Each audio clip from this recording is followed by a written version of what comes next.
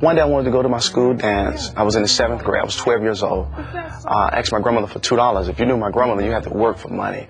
So I went up to her and said, Grandmother, let me get $2 to go to the school dance. So she uh, gave me crack cocaine instead of the $2. And she said, every customer that comes up, uh, this $20 rock, you take it to them. I give you $10. So um, I did that for weeks and weeks. And I made a lot of money selling crack for my grandmother. I was 12 years old doing that. And um, that's how I earn my living. That's how I earn my money. The innocence of going to Grandma's house was anything but for Huey Harris. But no matter where he turned, drug dealing seemed to be the way of life. I seen uncles sell drugs, cousins, uh, family members, my own dad. You know, I watched these people sell crack.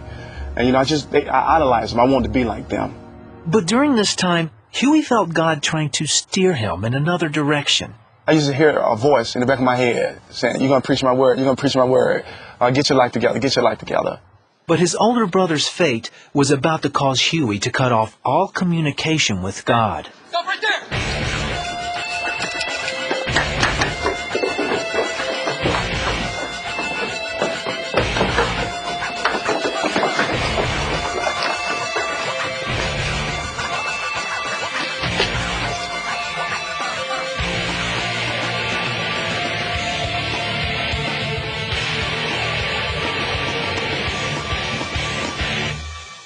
The bags of crack Huey's brother swallowed ruptured. He died several hours later. If there was a God at that time, I cursed him. Why did you take my brother away from me? So I, I went around angry. You know, I was real angry at everybody. Setting the school on fire, my high school. I set it on fire, just mad. Took a gun in the cafeteria, shot up in the ceiling. So I was, I was real disturbed and angry. When God took my brother away, I was angry. Huey was sent to a mental institute for six months. But as he got older, the only form of counseling that seemed to be getting through was the dollar bill. When he was 19, he owned over 15 crack houses in Montgomery, Alabama. I calculated like I blowed a half a million dollars in one year.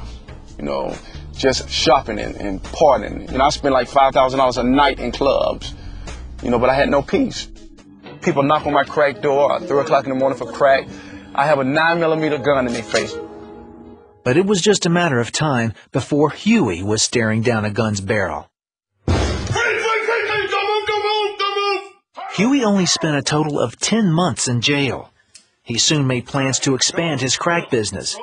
But seven years later, God changed those plans. On this big time drug deal, I mean, living it up on, on top of the world. And one day I was leaving the uh, club. It was about 3, 3.30 in the morning. And I got home. I was house and we, I was drunk as a skunk. I heard a loud noise. It was like an earthquake. And I looked up out the window. I see people of all colors uh, running, screaming, and hollering. Kids running and screaming and hollering from their parents. And God said, get your life together. He said, I'm coming back to destroy this wicked world. And he said, if I didn't get my life together, I'll be destroyed right with it. So I seen fire come down from heaven. It was like raindrops of uh, fire coming down from heaven on this earth. And then everything was just black. The whole earth was black. And then I'm walking on dead bodies. I mean, like skeletons and things of that nature. I said, Lord, save me. I said, save me from this, this lifestyle. Save me from selling drugs. Save me, Jesus. He said, I'm snatching you out of hell to be a witness for me. And then I felt the presence of God just come over me. It was like life, new life again. Everything was beautiful. I mean, the flowers, the water, everything was just so beautiful. I knew instantly that God had changed and touched my life because I woke up the next morning not having a desire to sell drugs, not having a desire to do nothing but want to know Jesus Christ. Oh my God. Thank you, Jesus. Thank you, Jesus. The next day, my mom and dad came over to borrow a thousand dollars from me. Uh, I looked at my mom and dad. I was so caught up in the spirit that I looked at my mom and dad. I said, God's been, God visited me last night. Get your life together. Huey immediately kicked everyone out of his crack houses. And for the next six months, he preached Jesus Christ to anyone who would listen. I was preaching everywhere. I mean, just everywhere. You know, at clubs, the same club where I had a ten thousand dollar tab. I went back to that club you know, preaching Jesus. People looking at me like I was crazy though, you know. But uh, I was telling y'all know me. I used to be in this club. I used to drink more yet, Dom Perignon, Cristal. I said, give your life to Jesus. You know, people was going up in the club. I said, you're going to hell. You know, I was known as the hell preacher. You're going to hell. His new reputation as the hell preacher quickly spread to the streets. But as a period of time, uh, people started giving their life to the Lord. Drug dealers. I mean, some of these same people that ran from me, they'll call me up. Uh, Pastor Harris, pray for me. Come out to my house, knocking on the door. Pastor Harris, pray for me. In the first month, 300 people were baptized. But his mom and dad still weren't sure what to believe. They started watching me and watching what I was doing, and they was like, is he for real?